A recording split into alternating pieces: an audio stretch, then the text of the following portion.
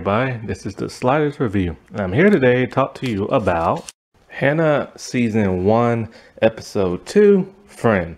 So I decided to review this episode before I do the rundown review, only because this episode is very interesting and fascinating. It explores more of Hanna learning about humanity. And um it's just like when you watch it, it, it, feels completely different from that of the first episode. So it makes you wonder, okay, what kind of show am I watching? So, you know, it's a coming of age type story for Hanna with the spy stuff in between. And it also correlates to that of the movie, which one day I say I will get into when I do the rundown review. So, this episode starts off very oddly. It's a girl on one of those, like, um, she's on social media and she did like one of those little filter things because she's on a cam and she has like a dog face and everything. And I'm just thinking to myself, um, is this the same show I watched when I watched the first episode? Now this girl is Sophie. Sophie is a British teenager um, of Indian descent, Muslim, um, probably Pakistani. she's in England, um, the chances are she's Pakistani probably. Because a lot of Pakistanis live in um, Europe and England and stuff. So I'm, I'm just going to assume she's Pakistani. Um, and one thing we learn about her, she's a very lazy, very spoiled, very um, teen. Basically, she's your, your, your, typical teenage girl. You know what I'm saying? She doesn't care about nothing but herself. Um, she's very flirtatious. She loves to party. She loves to drink. Um, she's a wild child, basically. So we hear a, a, horn honking and, and somebody yelling at her. It's her mom telling her to hurry up and get in this car. So she's a very lazy person who would rather be on face chat than to hop in the car and go on her family vacation. So her family goes on vacation and when they're there, they act like a beach. One thing I will say that's a problem with this show, no matter what season it is, is like how they get from one country to another in the blink of an eye and stuff. And it'll be nice if they put like the name of the country they're in because I'm thinking myself when I saw them on the beach, I saw camels and everything. I'm just like, well, that's kind of like, where are they? and then so, um, later on, I found out where they are when they started walking through like a market town and everything. And so, like, Hanna is now um, captured by like Marissa's people, and she's taken over there to the country that Sophie is like vacationing on. See, Sophie's parents are going through a rough patch, and they thought maybe having a nice family vacation would help and stuff, right? And so, like, one thing I forgot to mention in the last review um, is that like Hanna and Erik, they was running from like the guards, right? and they take one down and they decide they're gonna split up. So they're gonna meet in Berlin, which is where he's from. And uh, and so what is it? Um, he tells her all this stuff to say in case she gets captured. Like her dad works at a certain company. They um from Amsterdam. Um, their dog poops on the carpet. You know that kind of stuff. I'm not joking. they literally said the dog poops on the carpet. That's supposed to be like a cover and everything. And so they'll split up um, to communicate, do by postcard, and they'll meet up, um, you know, eventually. So as they're running, Marissa's like guards are about to shoot Erik, and Hanna can hear it over the intercom or the walkie-talkie thing, but she can't get to him in time. So she pretends to like give up and talk about she needs help on the intercom. So they leave a walkie-talkie. so they leave him alone and they go after her. And she tells him, he abandoned me because I was too slow and all this other stuff. And Marissa is just looking on the camera and she's just like staring uh, intensely, trying to read like Hanna's like facial expressions and stuff. So Hanna's in this place and as she's eating, they're like interrogating her, asking like, you know, what's all she's been doing, what's all been going on with her and Erik and all this other stuff. Now, Erik told her plain and simple, you can't trust uh, Marissa. She lies and everything. And so like Hanna, she's all like, you know, she wants to see Marissa and everything. And so Marissa, she's nobody's fool. she's watching everything on a monitor and watching very closely, and she sends in a decoy and everything. And so the decoy comes in and is talking about like just being all nice, talking about you're safe now, you have nothing to worry about, blah blah, stuff like that. And Hanna, as she's giving, she just all of a sudden just gives the woman like a big hug and everything. And so the real Marissa is just like staring her down, and she, and then we can see Hanna pull something from her. Um, it's like a, a long object, object. I guess she stole when she was um in the facility, because you know they made her strip down and they made her like take a shower and everything. I gotta say, what's really interesting, remember how I said she lived in like the, the forest and lived in the cave and all this and she don't know like nothing is? When she had a shower for the first time, she, her reaction was just like uncanny. Like she she was just like fidgeting and putting her head down and, and all this other stuff. Is like she has no idea what none of this stuff is like. And so like that's one reason why i decided to review this episode if i go down the rundown thing. Because like when she does explore humanity in this episode it's so bizarre. It's like taking a person out of the 800s um, and putting them in the 21st century. Like they just have no clue what's going on and stuff. And so like, I said 800s, not 1800s. So this is back like way back, back, back, you know what I'm saying? And so, um, so like she takes the object and she stabs the fake um, Marissa and everything. And She kills her. So then the red, alar um, red alarm happens and Hanna's just whooping butt left and right. Now one guard is able to get the upper hand on her, but not for too long. And I'm saying these are these 200 pound men and uh, men, about 150 pound women guards, and they cannot take down a 90 pound 15 year old girl. She is just whooping them left and right. So then she takes the weapons, and of course she's blowing the brains out and stuff, because that's how she was like trained. Now there is a scene very similar to this in the movie, because the movie follows the first and second episode very closely, and the ending to the movie is very much differently from the show. And there's some differences here and there, right? Um, and I've watched the um, never watched the movie, but I watched the clip of the escape scene from the movie, it's not as fascinating as it is in a TV show. Like the movie had had like half of it was like probably like a six out of ten um, rating system and stuff. So you know it had some pretty good reviews and everything, but it wasn't enough to garner like a sequel. And because um, the movie came out in 2019, and the show came out actually around that time. Or maybe I'm getting that year messed up. I gotta look again. Yeah, when I do the rundown review, I'll know exactly what year the movie came out. But I'm pretty sure it came out around 2000 and something or another. Anyway, so like, as she's making her escape, she's just like killing people left and right. She's killing scientists, she's killing the guards. If a guard puts their hand up in the air, like a, well, these guards are soldiers actually. When they put their hands up in the air, she'll let them live, and so they run out screaming and stuff. And so she knocks out one of um, the military guards, and she puts on their uniform and she just strolls on out the facility. Like you know she's like one of them and stuff. So she makes it out to the desert because they're i think they're in pakistan i think. So she makes it out in the desert and she takes off the uniform stuff for the pants because you know can't walk around just a shirt and pants.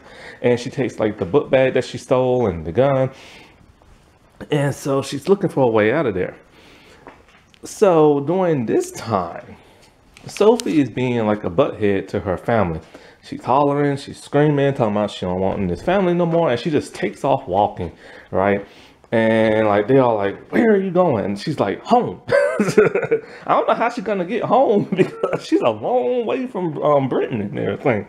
So like, she's just like walking out in the desert, and of course she gets lost. And you know it's hot out there, and she meets Hanna. And then so she asks for help for Hanna and and like Hanna gives her some water to drink and Hanna tells her straight up don't drink it all. But then here comes Sophie drinking it all and Hanna just snatches it from her. And so like when they see Sophie's parents, they flag them down and they decide to give Hanna a ride back. So, of course, the parents are interrogating the crap out of um, Hanna, asking, like, who are you? You just like a little girl and stuff. And she's all like, I'm here on vacation. They're like, alone? She's like, yes.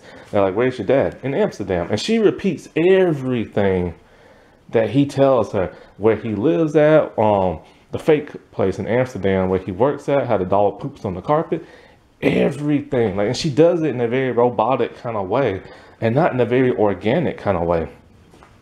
She's basically just like reciting everything off like a, a sheet of paper. That's how it feels like. And um, they ask her how school and everything. Oh no, no, no. They they ask her like um, what school she goes to, and she tells them. Then they ask, "What year are you?" And she just freezes because she was never told what year she's in and stuff. And so then Sophie's all like, "School sucks." And then Hanna like adapts and she's all like, yeah, school sucks and everything. Uh, and all that other crap. And she's playing a video game for the first time. And she's beating Sophie's brother's like high score, like really good. Like she's really good at doing that, which is weird because she's never played a video game before, but she catches on very fast and learns to adapt and everything. Which probably explains why season two feels the way it did and stuff because she's adapted so quickly in season one. So they go back on the cruise ship um because they, they they they brought their car with them on vacation, and so they go on like the cruise ship, and um but before they get on the cruise ship, right? They're walking around the, the market. This is how I knew they was in some type of like Indian type country, but I think they're in Pakistan. And so Hanna's just like amazed by like what all she sees and all the people. She's never been around this many people at one time. And you know, those marketplaces on the street, they're packed with people.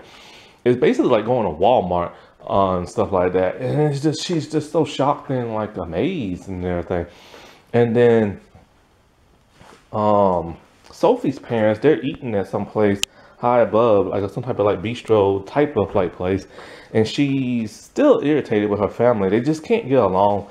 And the dad's tired of his daughter acting like a brat. The mom just wants them to be happy. And then as they're like about to leave and go on the cruise ship, Sophie spots Hanna down in the marketplace. So she goes down there and as they're in the car, we just see um, everybody in the car except for Hanna, but Hanna is hiding in the car. Sophie put it there before they um you know drove off and her hair is shown. So Sophie kind of like, you know, covers up her hair and stuff.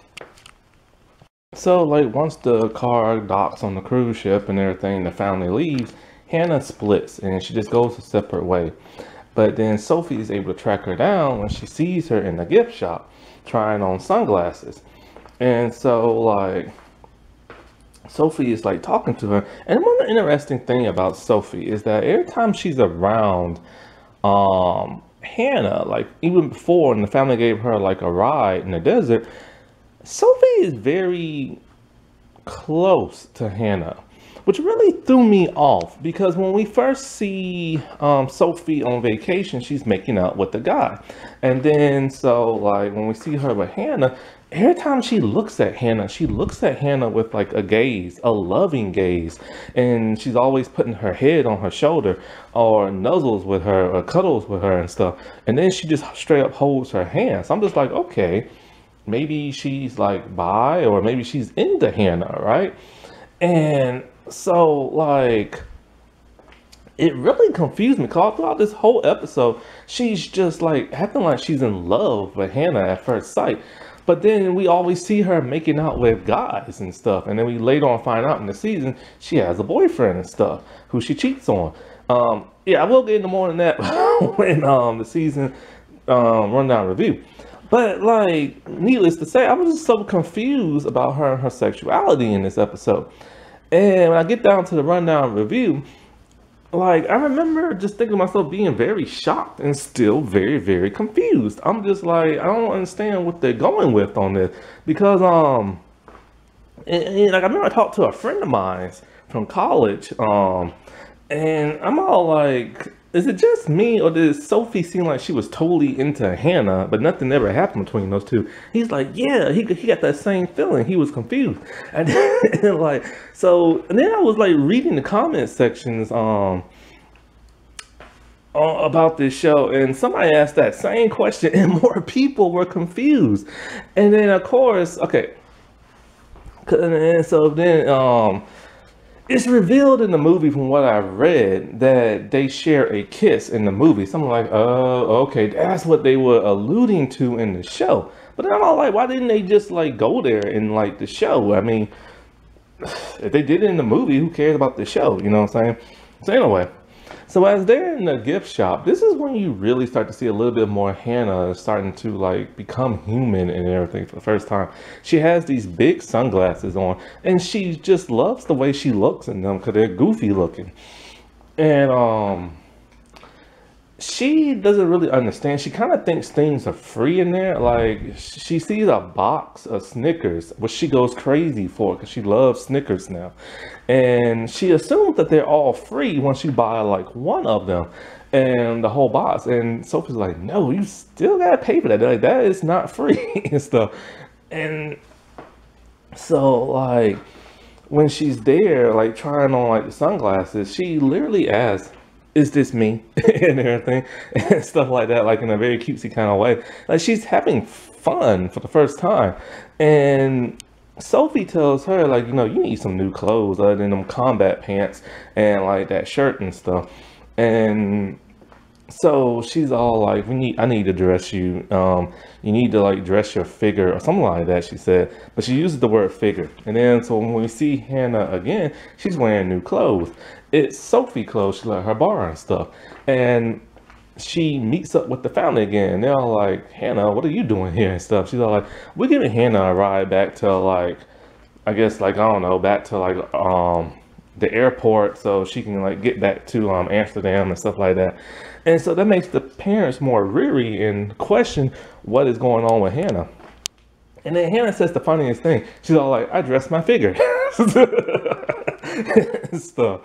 and so like the parents are still asking her tons of questions, but Sophie doesn't want them to ask her any questions because they assume she's a runaway. And I remember Sophie first assumed that she might have been tra um, sex trafficking and stuff like that. But you know, they know something's up with her, but they think they think she's just kind of like probably like run away from home or on a vacation by herself, but they are again very questionable and stuff like that. So like she convinces her parents to like stay in a hotel once they're um God, where were they? And I don't know, cause they bounce around from country to country and stuff. And they don't ever let you know what country they're in. And so like they're in another country I want to say France, but I don't know. Is that it might be France? I think. Um, and yeah, so like this country, this show, this show is filmed in other countries when they do like on location things sometimes, but they do cast people from like America, Britain, Canada, because there's a lot of historical looking buildings that you see and stuff. And so like, while in the hotel, Hanna's watching TV for the first time, you know what I'm saying? And so Sophie being bored, she wants to party. So she dolls up like Hanna. Hanna's wearing like makeup for the first time. And they go out to like a club. Um, first let me um pause and let me talk about something else. So Marissa, she has enlisted the help of one of her like friends from back in like spy days and everything. He's kind of like this seedy little guy. He doesn't dress like um he's military, but you can tell he's in the spy game and they're in like a male strip club, which I've never seen before. I didn't even know men's legs can like do that. like I've seen women strippers do that on a pole, but I've never seen a man do that. And so she recruits him and I forget his name. Um, in the movie it's called Isaac, but I think in the show is something else. And so he's been tasked to find like Hanna and stuff.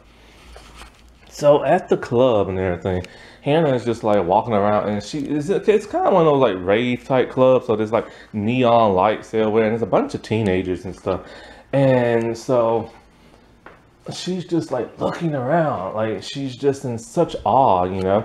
And so she's hanging with Sophie, and Sophie um got her like a drink, and Hanna's all like, "I can't drink that. That's alcohol." She's all like, "Well, why not?" She's all like, "Cause my dad said it dulls your senses and reaction time." And then Sophie tells her, Are you always going to listen to your father? So Sophie is bringing out more the rebellious side in Hanna. That's going to cause some problems between her and Erik later on down the road. Um, she's influenced her both in a good and bad kind of way. But because of this, Hanna is starting to like, you know, become human for the first time and act her like age and stuff. Like you no longer like you still need to look at her as a five year old kid, even though she's 15. Um, but as this episode progresses, then you need to start looking at her as a 15 year old and stuff. And so like she drinks it, and then all of a sudden she says something like, um, she, she keeps drinking more to where she starts to get buzzed and she says she can't smell or feel something in her body and she's all and, and sophie's all that's how you know it works. And then all of a sudden when she sees everybody dancing never she never danced before in her life and all of a sudden she's just like trying to imitate everybody else by putting her head down shake her head bounce up and down and you know like and since sophie did her hair her hair doesn't look like a wild child no more and because she's look like a cave girl and everything. And you know she's dancing man like you know what i'm saying? And it's just like a unique experience to watch her do this because because you gotta remember she was basically like a little cave girl mountain girl and stuff. And so like then she um sees that these guys are staring at her and sophie. Well you know sophie likes that so next thing you see, them all making out with the guy. So Sophie has her guy, and then Hanna has her guy. And at this time, we don't know Sophie has a boyfriend just yet. Um, so it's kind of interesting when something happens, and it's like, cause Sophie's bad, man. She cheats constantly on her boyfriend, and she she basically just kisses any like guy she sees and stuff.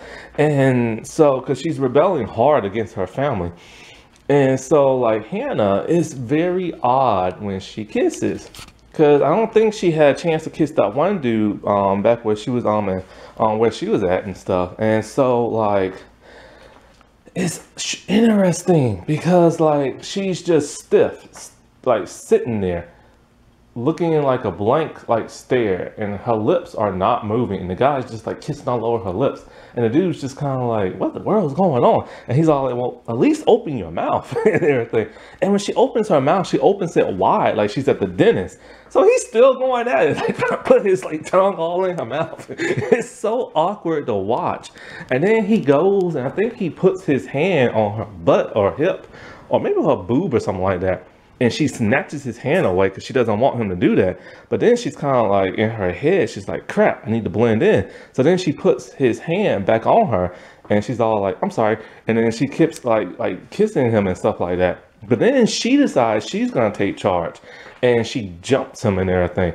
And so she straddles him and she's like just making all out with him, like she's like grinding and stuff.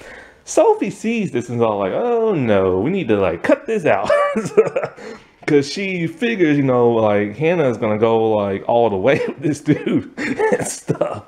Now let's get to some Erik and Marissa stuff, cause this gets very interesting. We get some nice little backstory, and we get to see just how capable this man is. So like he's uh, so Marissa, she goes to Berlin to talk to Erik's mother, and Erik's mother like I haven't talked to him in years, and blah blah blah and stuff like that. And so like Erik, he's in um, um Poland and stuff, and while he's there, he is now fully shaven. Like he looks the way he did back in that flashback early in uh, the first episode. His hair is all cut and everything, and like the man doesn't change up his appearance. Like his hair has been slicked back for the past like 20 something years. And so like he has to make it to Berlin and everything. That's where he has to meet Hanna. He does something I would never expect anybody to do. So, he goes to a fish market and he buys something, like a pound of something. I didn't know what he had bought. And then we see him at night He's by the dock and everything. And we see him stripped down, and he only has like a book bag and a bag or something. And then he puts his clothes and book on his book bag, and then he puts them in the bag. And then he takes up the thing he bought from the fish market. It's blubber and everything. And so, like, he takes it and he just starts smearing it all over his body and everything. So it's like really oily on him. Um, and this thing you know, he hops in the water and he swims. And I'm thinking myself, dude, where is he going at night? Because it's freezing cold at night. But if he has the blubbery fat stuff on his body, that will actually help keep him warm. Don't try this at home. this is a fictional show, by the way. But yeah, it, blubber actually does um, help you stay warm. Because I remember I was watching the Magic School Bus and they had an episode where they was out in the Arctic and they were trying to stay warm. And Miss Frizzle put like, I think still blubbery fat on them. And she's all like, this help keeps in your heat and everything, help keep the cold out and all this other stuff. So that's how he swam. And where did he go? Geez, he went from Poland to like um, Berlin and everything. Now the distance between those two aren't really that far, but it's far if you swim. um, driving there, I forgot how many hours it is if you drive. I think it's like 300 miles or something like that if you drive. So yeah. And um, so there's cameras everywhere and stuff, of course. And Marissa's like spying here and there, and she literally tells like the one dude like he swam from like Poland to Berlin, and then also the dude um, from the strip club that she recruited, he um has found out that Hanna um, has made her way onto like a cruise ship and he got the license plate of like the, the family car. And so he's hot on her trail right now. So in a flashback, we see what Erik used to do for the CIA. He used to recruit pregnant women. Basically, he will wait outside an abortion clinic. And then when he, from other countries and stuff, and when he would see a woman about to go there, he would charm them into not having an abortion and to give it up for like adoption and everything. So then they will, and then so, and he will recruit them for Marissa for the Utrax thing. And in the flashbacks, like if you think Marissa is evil now, whoo, wait till you see her in the flashbacks with that short hair. She was very evil and she was very happy to um get those pregnant women and stuff like that. And of course, one of them was Hanna's mom and everything. So, but then of course, Erik fall, fell in love with Hanna's mom. And then that's when they went on the escape and Hanna's mom got killed and stuff and it's really interesting to see how evil Marissa is because that's the training that her father, the chairman, did in season three that we find out.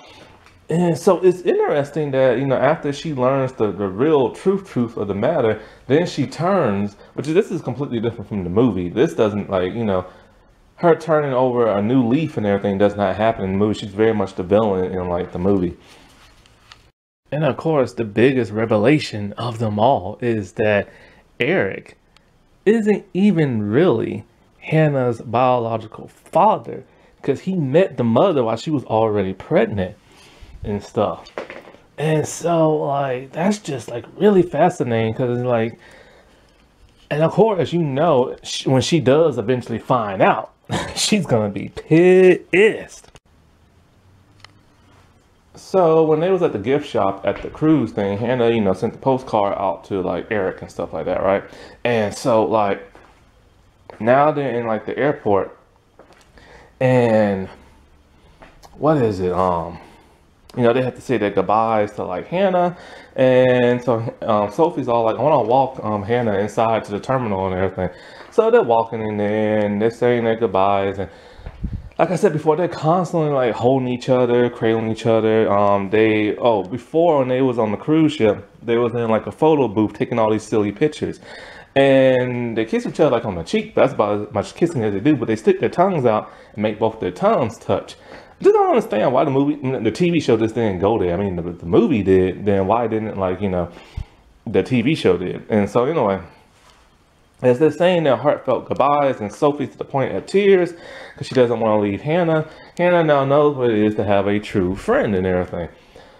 But this is when the craziness happens. Hanna starts to look around and she starts to see certain huge, tall men dressed in black are like just staring at her in different positions of the airport. She know, and then she sees this other man on top, and he's waving at her. She knows she's been made and everything. So she pushes Sophie and tells her, "Go back to your family," um, and uh, and just like leave and everything. So she runs off, and then Sophie follows her, and Sophie's like, "What is wrong?" and everything. Why are you treating me like this? And she's all like, "I don't want to be around you no more. It's too dangerous to be around me. Go where you'll be safe." But then the men surround both of the women boy, the action scene was interesting. So we see Hanna and a man behind her. It turns to Sophie. You start hearing a bunch of punching, but you don't see it. Then it turns back to Hanna. She is whooping these 200, close to 300 pound, huge muscular men at the airport. And she is whooping on them good and everything. and then so like she's just whooping on them and they're, they're on a high place, right? Um, where like an elevator goes up. And so one of them pulls a gun on Hanna and Hanna has one of the men. He's all like, you know, stop right now or like we'll shoot and everything. Hanna doesn't care. She turns around with the man and she just runs towards the balcony ever and they fall off the balcony and you hear people screaming a loud thug. When we go down there to see her, she's on top of the man. He took the blunt of the fall, so she's still trying to run up out of there. But the man that um, uh, what is it? So then she takes like the gun and she starts just like firing in the air, and it causes everybody to scatter and everything. And then so next thing you know, um, one of the guards after she's done whooping on him, she points the gun at him and she's getting ready to fire. And it's very close. Her hand's on the trigger and she's gonna pull it. And then we hear Sophie yell at her, talking about, No, Hanna, don't kill this man and everything. And then Hanna just kind of like looks at Sophie, then looks at the man. And she kind of doesn't know really what to do at this point because her training tells her to kill these people. But she decides she's going to listen to Sophie because Sophie's now her friend who has corrupted her her training and everything. And so she lets the man live and tells him to leave. But then she whoops something on the contact and everything. And she hightails it out of there. And so she takes a train to Berlin and stuff. So at this point in time, um, the man who Marissa hired and stuff, he's interrogating the family. But the family, of course, doesn't know. They think Sophie knows something, but Sophie's playing kind of like dumb and doesn't want to say, you know what I'm saying? And so, like, they tell her, and the family asks, you know, what did Hanna do that was so bad? And he's all like, it's not Hanna, it's her father. And they show a picture of like a dead man and stuff. And they're like, oh my God, and stuff like that. Now, I don't think Erik killed this man because I don't recall him killing nobody in this episode. I think when he meets um, Marissa, she tells him, you know, why did you kill that like um, security guard? And he's like to blame Erik, something like that. So I think he killed them just to blame it on Erik and stuff. So now Erik is like a fugitive, all on like the news and all this other stuff. When Hanna makes it to Berlin, she goes to the apartment where um, Erik is supposed to be, but he's not there. So she's just kind of like hungry and stuff. So she walks around and she sees like um, a dog. He's in like a dark alley and he's kind of like sniffing around a pizza box. So there's a piece of pizza in there that hasn't been eaten. So she eats it and then she gives some to the dog. But then this like little shady man walks up to her and he wants to know if she's selling and stuff. And so she tries to run off, but he um, stops her with a knife. And so she's about to fight him, but then Erik shows up and whoops this man butt and stuff. And then Hanna's pissed at Erik. She's all like, "Where were you? You wasn't in the apartment like you said you was gonna be." And he's all like, "I had to make sure you came alone and stuff like that." And so basically, you know, like it ends like there. And some more interesting stuff does happen in episode three, but that's when I will get into like the rundown review. But yeah, I just wanted to touch down on this episode first because it's very unique and interesting. And this is what caught, uh, caught me in the show. Like, the first season, there isn't that much action. But it's just, it's the exploration of your own humanity that I found so intriguing from this little mountain cave girl and stuff, you know? Alrighty, well, I'll talk to y'all later. Bye.